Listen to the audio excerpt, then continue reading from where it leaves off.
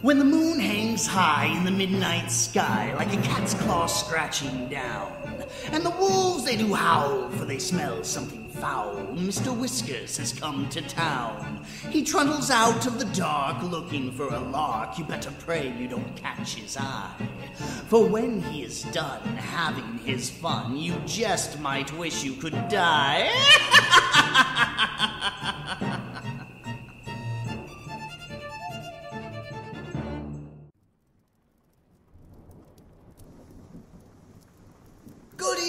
kitties.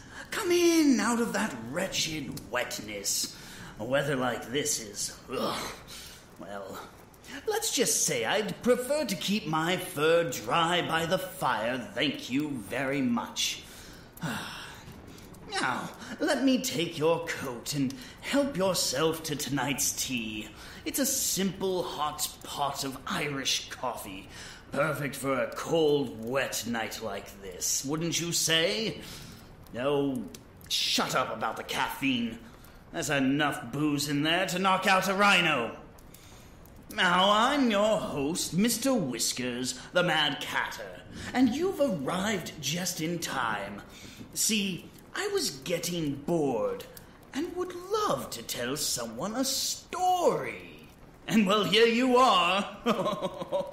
oh, sure, you could go back out there into the rain and thunder where dark things lurk and wait. Oh, yes. At night, my valley is full of creatures that lurk in the shadows, stalking, hunting, herding you towards a set destination. Do you think you can outrun them? Really? This is their territory, their hunting grounds. Do you think you can outsmart them? Really? They've been doing this for millennia.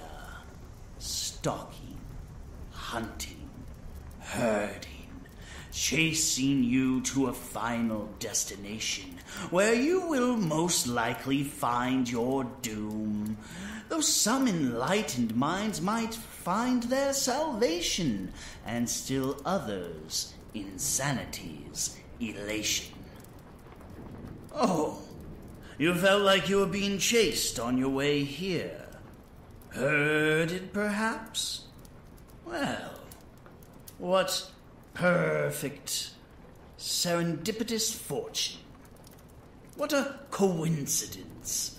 Because it looks like, until morning at least, when they all go to sleep, you will be my captive audience. Don't worry, I'm a good host.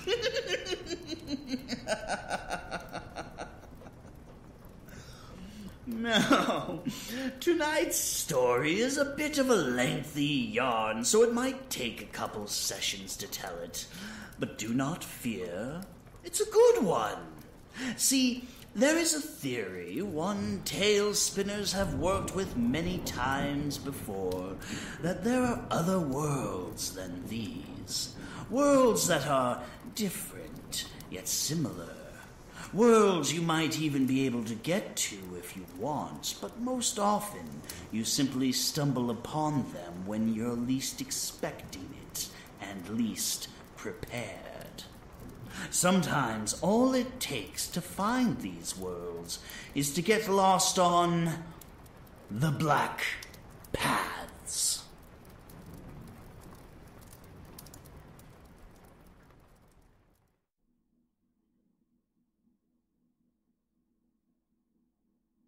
The Back Paths series by M59 Gar, otherwise known as Matt Dymerski. First half, Part 1 The Back Path. I'd just made a trip to the grocery store when I found out. Pulling into my space in the carport between the rows, I couldn't help but stare at the two police cars and gathered crowd of concerned onlookers. Grabbing some of my groceries, I began carrying them into my apartment, pausing each trip to look across the carport and try and discern what had happened. Hey, I said to my disheveled metalhead neighbor. What happened? He closed his gaping mouth and looked over at me from next to his car. That, uh, lady freaking out? That's the mom.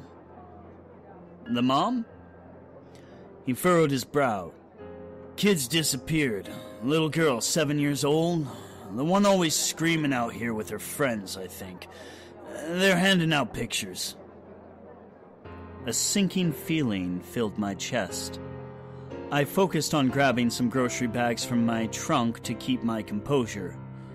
That's terrible. Yeah. Said she was playing with other kids around the 500s. I looked up the stairs at my door's hanging number 840. That would put the incident in the opposite corner of the apartment complex. Not sure what else to say, I slammed my trunk shut and carried the last of my things inside. Things like this happen from time to time, surely, but in my very own neighborhood? To a family right across the carport? The sense of violation left me shaken. After a few stressful minutes inside, I decided to go for a run to clear my head. Leaving the opposite direction to avoid the crowd in the carport out back, I turned and headed out, running along the high barbed fence marking the edge of our development. Nice enough houses and a few forested areas passed by outside, but nothing that seemed dangerous. And I saw no holes in the fence or other paths through. Racking my brain, trying to remember if I'd seen anything suspicious or anyone unfamiliar, I turned toward the interior of the complex, running past the outer rows of apartments. I passed through the small gap in the carport wall, entering the back paths. The back paths were beautiful and well kept.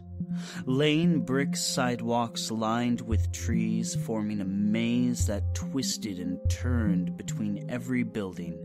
The summer sun remained distant through the foliage, keeping the shaded paths cool and refreshing. I paused for a breath at a picnic table placed at an angle before two large bushes, not sure exactly where I was. No numbers were visible along the back side of the apartment buildings. I walked back and forth while I caught my breath, but only smooth, unbroken aluminum siding remained visible behind the thick trees. The back paths were a favorite place of mine to run, always empty, cool, and solitary. But I'd lost my way while distracted. A light breeze shifted the trees overhead, an unexpected, humid, and unpleasant chill. Looking down one path, I saw only endless sidewalk curving off into the tree lined paths, shot through by dappled sunlight. Down the other lay a picnic table by two large bushes and a circular basin framing planted flowers. Walking over in confusion, I studied the picnic table. Was it the same one I'd just stopped at? They all looked the same, I supposed, but I didn't remember the sidewalk circling around flowers. I would certainly have noticed their bright purple. Right? That strange, chilly breeze came again strong enough to ruffle my clothes. I narrowed my eyes to test my vision, wondering if the area was growing darker. As I picked a direction and ran, my suspicions were confirmed. The first drop of water hit my shoulder, making me jump and look around. But of course, nobody was there except the quiet now felt strange, almost curved, as if someone was nearby just around the corner or walking along a nearby path. The presence felt aloof, like uninterested passerby on their way to somewhere. But I still had an inexplicable urge to remain quiet. Walking quietly, taking care to avoid the stray nuts and leaves on the brick path, I listened intently to my lightly ragged breathing and the increasing drizzle on the leaves overhead. Turning at a bend once more, I came to another picnic table. A square basin held a large patch of dark green ivy. How the hell had I missed the exit? Any exit? There had to be gaps into the different carports everywhere. I, I must have just missed the last one somehow. Maybe bushes had grown over it, and so distracted, I walked right by. The rain finally passed the leafy canopy overhead, dripping regularly down on me. Now a little scared and more than a little frustrated, I took off running as fast as I could, bolting down the green lined pathways. As the noise of crushed nuts and crinkled leaves radiated from under my pounding feet, the sound of scraping metal echoed back. The presence I'd felt before seemed to snap to attention. Now anything but uninterested, the high squeal of metal faded, replaced by rapid footfalls. Spurned on by a surge in the rain covering my noises, I turned, ran, turned, ran again. Bushes, trees, brick, and smooth aluminum siding blurred past me, never opening, never offering escape. The heavy footfalls grew closer, less than one angled curve behind me. Suddenly, coming up short, I slid along the slick sidewalk, my legs shooting forward, the harsh sidewalk scraping right up my thigh. The stop had been worth it. A gap in the brick to my left opened on a car filled lot. Finally, I shook my head, almost laughing. I'd just gotten lost in the back paths and freaked myself out with all sorts of imagined fears and. It came around the corner slowly. That high metal squeal rising again. My entire awareness seemed to freeze, refusing to take in the rotting thing lumbering down the path toward me, misshapen and grotesque. The very act of motion seemed to send visible waves of pain across a twisted face that ran half the length of its body, ending at broken teeth set in its waist. Black gore seeped from open stumps where the left half of its vaguely human body should have been. But it continued shambling, as if the limbs were there, somehow supported in impossible ways. The metal squeal came again. Sharp steel on stone. But I could see no source for the sound. I had the distinct impression that what I was not seeing was far more horrific and dangerous than what I was seeing. Grasping stone, shouting hoarsely at the top of my lungs, I recovered as fast as I could. Scrambling for the gap in the brick, I darted behind a van, slowing as I realized that the rain had suddenly stopped. The sun was shining overhead and the hot day felt as normal as any other. Peering around the edge of the van, I watched the gap to the back paths. But nothing showed.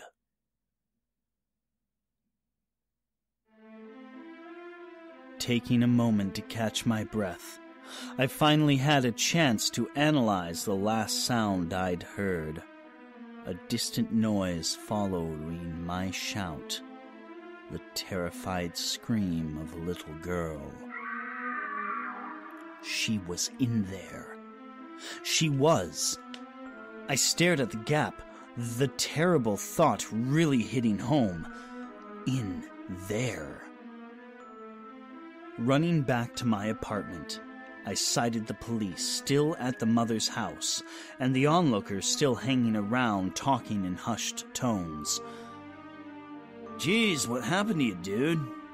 My neighbor asked, still standing outside his apartment. Running a hand down my face to slick off the rain, my clothes were still soaked. I realized I couldn't tell the police. What would I say? Some horrific aspect had come out of the back paths of the apartment complex. I would look like a madman, and the focus would almost certainly turn on me, and I couldn't risk that, because I was the only one who knew where she was. I just stared at him for a moment profoundly unhappy. I had to go back in there. Someone's stupid sprinkler, I finally said, turning to head inside and change. A half step into it, I paused. Whether it was real or whether I was losing my mind, another perspective would be very useful. I turned back to him Hey, man. What are you doing right now? Uh, nothing. What's up? I considered not telling him, but it would be brutal to trick him into going into that horrible place, especially when my instinct was telling me that what I'd experienced was only the tip of the iceberg. There was another option. He might actually believe me provided he was in the right state of mind. You high right now? He laughed and smoothed down his t shirt, glancing over the cop cars. Yeah, of course. I gulped. Good. I think I know where that little girl is.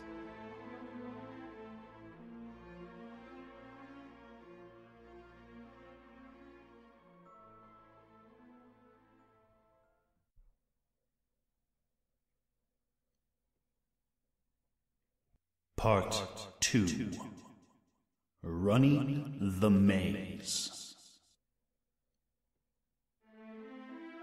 A searing lance of sunset fire framed the evening sky in slow motion, lending everything the subdued color of flame. I pulled the car into my spot and killed the engine, watching the gap to the back paths. I imagined it was glaring back at me, the shadows beyond wavering strangely in the dim orange twilight. My neighbor, Mike, carried a large spool of electrical wire close to his rumpled black Megadeth t shirt. How come you get the sledgehammer? Getting out and pulling the heavy tool from the back seat, I ripped the barcode sticker off and hefted it in both hands. Not wanting to give any of my plans away, I gave him no answer. He followed anyway, probably still uncertain whether I was serious.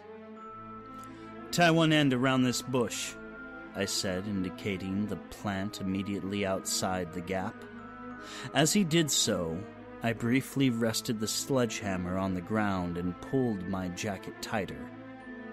There's not a cloud in the sky, he said, billowing his t shirt with one hand and sweating slightly from the heat. I narrowed my eyes. You should really wear a jacket. Fine, man. Fine. He turned to walk back to his apartment. I stood there waiting unsure if he was going to return. The fire in the sky lost some of its glow with each passing minute, leaving the bit of back path I could see increasingly shrouded in gloom. Finally, he came back, walking up with a windbreaker open and flapping, and his hands in his pockets. His eyes were a little more bloodshot than before. Shrugging, I hefted the sledgehammer and led the way through the gap. The canopy overhead and the framing high walls immediately brought heavy silence and orange cast murkiness. Mike held the spool, unwinding it as he walked. At random intervals, he laughed quietly to himself. Quiet, I whispered harshly. There's something in here, remember? He chuckled and blinked heavily. Looks the same as ever to me, man. And it did. The brick path stretched away in either direction, following the backsides of the apartment buildings. We came to the first picnic bench, flanked by two bushes. Looking around, ensuring we were alone, I took out my pocket knife and cut a letter on the unseen bottom side of the table. Walking further, we came to another gap in the brick wall, finding ourselves at another carport in the development. Doesn't seem weird to me, he said apologetically. Not sure what to do, I led us both back to the picnic table. The letter I'd carved remained underneath. I've run through here a thousand times, I said, studying the paths. I wasn't paying attention when it happened. Maybe that's the key. He made a confused face. How do we not pay attention when we know we're trying not to pay attention? We sat for a moment at a loss, until I had a thought. Close our eyes and walk? He shrugged, and we moved to the corner, facing down a long straightaway that led deeper into the back paths. Closing my eyes, I stepped forward, slowed only slightly by his hand gripping the tail end of my jacket. Carefully taking one step at a time, I clutched the sledgehammer close and put one hand out, anticipating a hedge or a tree at any moment. The evening air was unpleasantly warm and humid, even under the trees, and I seemed to be reaching into hot, silent emptiness.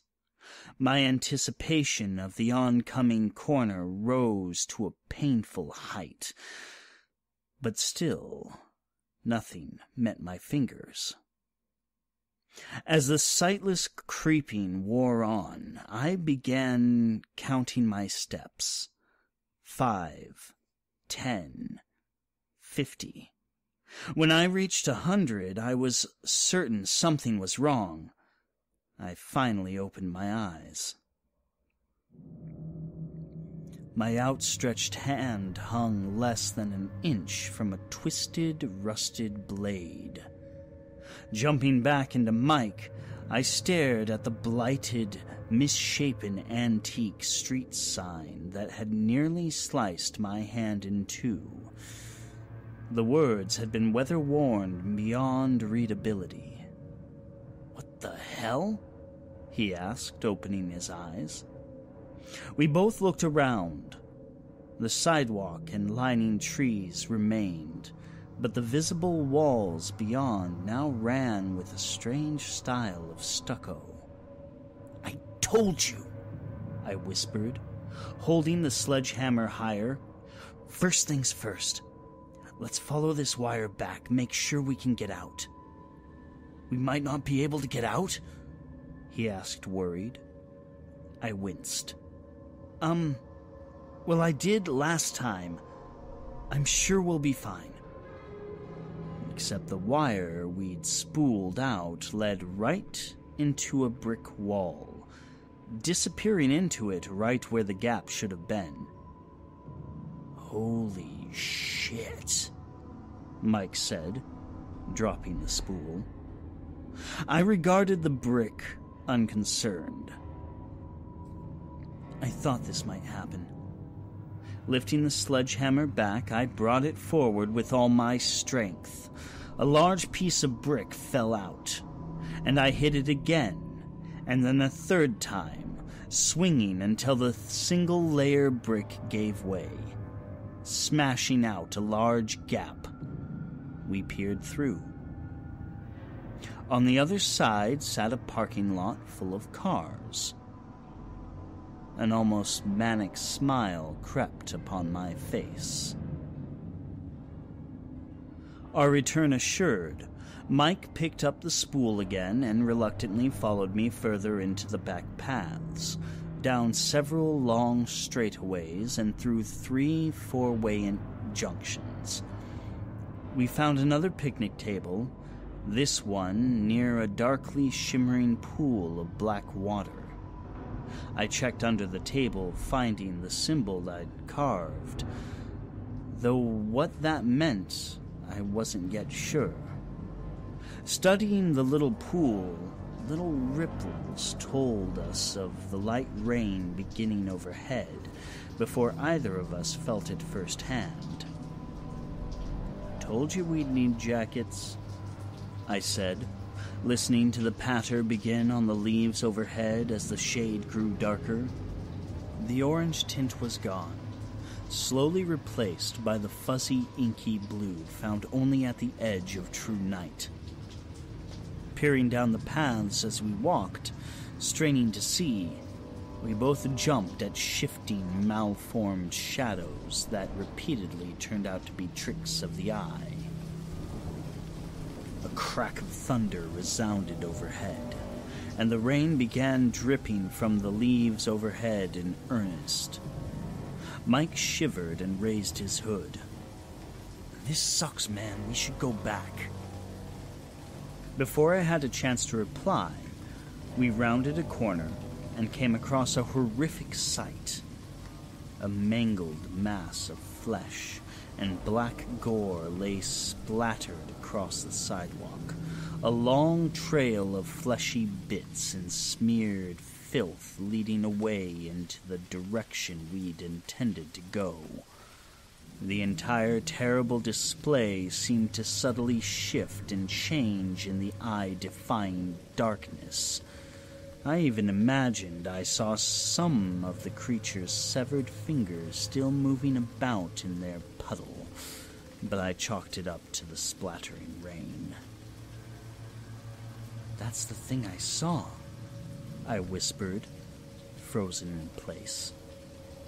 That's the thing? He whispered back. Then what did that to it? I shook my head. I think we need to risk one shout. What? He hissed, wiping rainwater from his face. Are you crazy right now? The little girl responded last time I shouted, and we can't wander around here forever. He seemed terrified, but relented cautiously moving the opposite direction from the ravaged corpse, I gave one quick, hoarse yell. Hello? Hello? Hello? The sound seemed to echo for nearly 20 seconds. We stood, silent, hearts pounding a small cry came from a path to our right. Running quickly and quietly in that direction, we stopped at a four way intersection, not sure where to turn. A tapping sound below our feet, and we both jumped back in fright. It took a moment for us to realize that a pair of small eyes was watching us from below a sewer grate. It took another moment for us to grip the grate through inch deep rivulets of pouring rain and throw it to the side. Mike pulled her out from down below. It was the little girl he described, albeit covered in dirt and soaked to the bone. Screwing up her face in fear, she pointed behind us. We didn't waste any time looking. Mike scooped her up and we took off running along the lane wire, splashing through ankle deep water and trying not to lose the trail. I realized we would never be able to keep following the wire if the water grew any deeper. Wait! I hissed, stopping at a space of brick wall. We don't have to go all the way back to ours. Hefting the sledgehammer, I bashed the wall repeatedly breaking pieces off with agonizing slowness. Heart pounding, I slammed again and again, trying to get through before I sensed Mike and the girl tense. I turned. I blinked against the rain running down my face, peering into the shifting darkness along the path behind us.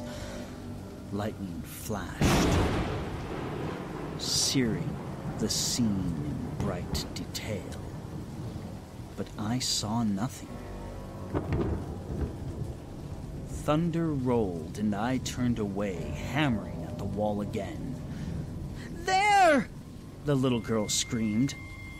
I looked back again, wearily lifting the hammer in case of attack, eyes wide to soak in the barest light still reaching us through the storm. I scanned the path and still nothing. One more swing sent a large section of the wall crumbling back, the knee high water flowing through eagerly.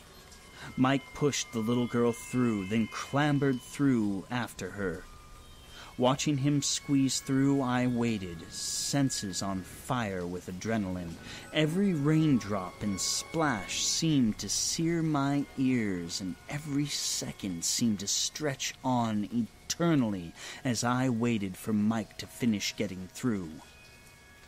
I leapt around as I heard a different kind of splash before me. Staring around in terror, waiting for a flash of lightning to light up the path, I still saw nothing. Getting a sudden notion that there was a very obvious place for something to hide, I dropped the sledgehammer and leapt out of the thigh high surging rainwater. Gripping branches, I climbed up into the closest tree, watching as another burst of lightning illuminated some grotesque series of shadows in the water below. The following thunder nearly shook me out of the tree, but I climbed higher, resolving to go right over the brick wall. Laughing loudly, I refused to fall from the slick branches, clawing my way upwards. I could see it, lit intermittently by eyeball searing lightning. The top of the brick wall just out of reach. Clambering up another branch, then a second, and a third. I reached out a hand, and suddenly I was slipping, falling in panic. Though not the way I would have expected, my body seemed to tumble, my orientation shifting as I desperately grabbed at thick tree branches and came to a painful stop as one met my chest. Groaning, I dug my fingers into the nearby branches and tried to comprehend what I was seeing below. The lightning was now flashing intermittently under me. In the water? No. I was upside down. I clutched the tree harder as I realized it was the only thing between me and the infinite void of sky below. The storm clouds pulsed menacingly, blinking with bursts of light shaking the tree against me with riotous thunder and shooting waves of rain up at me. Confused and horrified, I looked up, seeing a ceiling of water still bubbling madly in, const- in a constrained path, that impossible shape still moving underneath, waiting for me. The chilly, rain soaked minutes passed as I tried to think of a way out. I could climb up and get torn apart by that lurking horror, or I could let go and fall forever. I never felt quite that way before, feeling the certainty of death circling on all sides. Clinging to those branches, I thought about my life and everything I'd done, everything I'd wanted to do. Would it all end here in this otherworldly nightmare? Unless. Shivering, feeling my strength fading, I studied the wall next to me. It came down from above, stopping just out of reach. A crowning upside down light fixture mocked my need for light with its broken bulb. Judging the distance by flashes of lightning, I guessed that I had only one way out. Doing my best to summon all my courage, I managed to make the wild split second decision. Bracing my feet and edging as far forward as I dared, I leapt out toward the wall. Soaring through what I knew was endless void, my grasping hands found the light fixture, and I grappled desperately with it, curling and writhing in the air. With only a few seconds of grip on the rain slicked metal, I let myself swing further forward, and I let go. I swung impossibly in the air, circling too fast to comprehend, my orientation lost. A large, flat surface smacked into me bodily, knocking the wind from my lungs and bashing my face without compassion. Holy crap, man, how'd you do that? Mike shouted, running over to me. He waved his hand up the wall that was now properly above us, indicating what had probably been an insane and impossible acrobatic sight. Wiping dirt from my face, I sat up slowly, looking back in shock at the now normal gap to the back paths. The carport's lamps cast a slight illumination beyond, showing nothing but normal sidewalk. Gripping my head with one hand, I stumbled to my feet. I'm. I'm going home, I mumbled, glancing at the little girl who clung to Mike's leg. Take her home, will you? Don't tell anyone about this. He stared at me. Like I was going to. Staggering toward my apartment, my soaked clothes slopping around me uncomfortably as I walked, I resolved to sleep for the next two days straight. Had anything I'd seen been real? What the hell was that place? I had the strangest feeling that the back paths and I had played a game, that it had been learning and adapting as we played and that I'd made it furious by escaping twice. It would react brutally if I entered a third time. I knew, but no matter. I was never going near those paths ever again. I reached my apartment with no small relief. Turning the key in the door, I opened it slightly and then paused. A white card had been nailed to my door with large red letters emblazoned across it. G L O R W O C. Confused, I looked to my left and right, noticing the same card on each visible door. It was then I noticed the smell wafting from inside my apartment.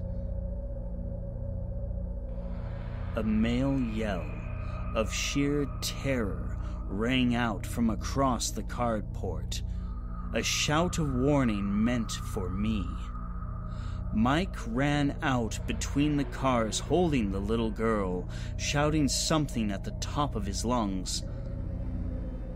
I closed the door to my apartment softly, remaining outside. My tired gaze fell on my scraped up hands and legs. I laughed softly. of course, Of course. And it had been my idea to try a different gap to escape. How foolish to assume all the gaps in that mind bending nightmare exited the same place. We weren't home. Not at all.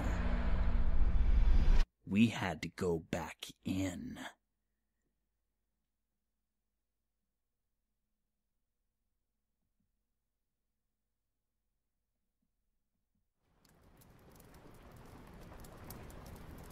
Ah, now, wasn't that a fantastic tale?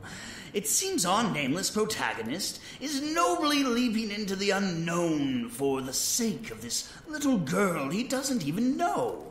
Of course, he's a resourceful chap, so we'll have to see how he fares in this strange alternate place. We'll continue that next time, however. Now, before you drift off, kitties, I've received some exciting news. This is for you and all of the other guests that visit this cabin. Oh, you cannot see them? Well, don't worry, they can see you just fine. See, one of the things about podcasts and shows like Twisted Teatime is they don't go far without, well, support from the listeners.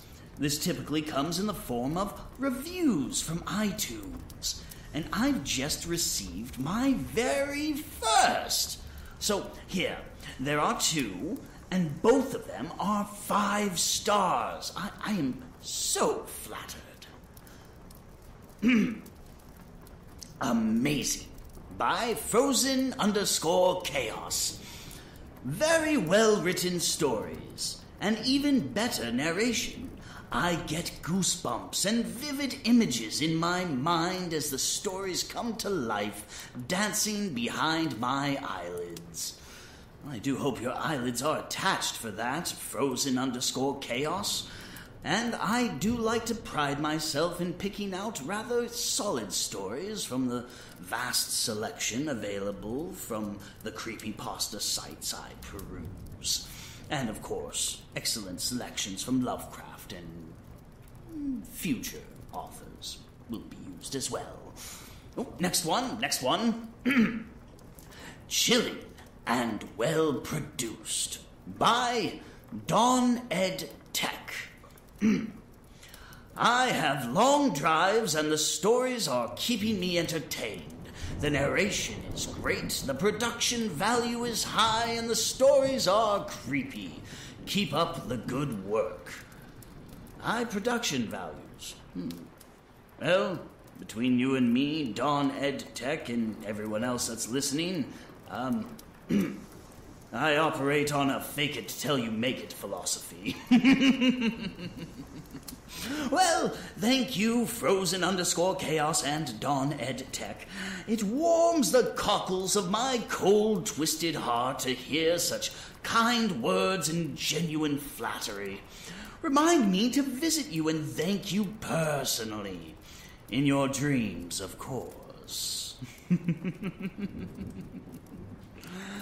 Well, that is all for tonight, kitties. Alas, my friends, the time has come, though our story is not quite done.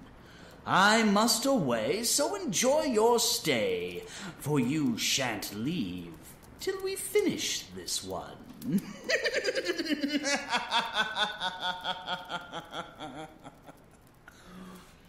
Good night, kitties pleasant dreams.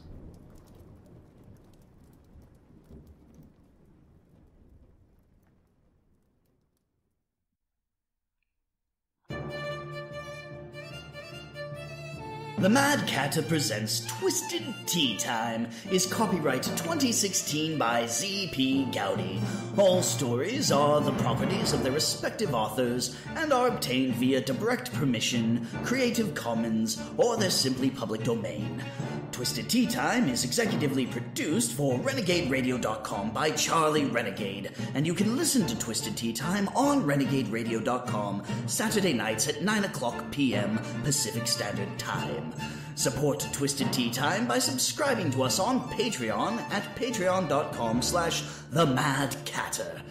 Music for Twisted Teatime is used courtesy of Kevin MacLeod at Incompetech.com, as well as Jason White, whose work can be found at soundcloud.com slash angels dash of dash despair. Details can be found in the show notes. If you want more of me and my mischief, find my charming grin on facebook.com slash Cheshire Hat or on Twitter at Real Mad Catter. Download past episodes from SoundCloud at soundcloud.com slash Cheshire Hat or visit me at www.themadcatter.net. Good night, kitties. Pleasant dreams.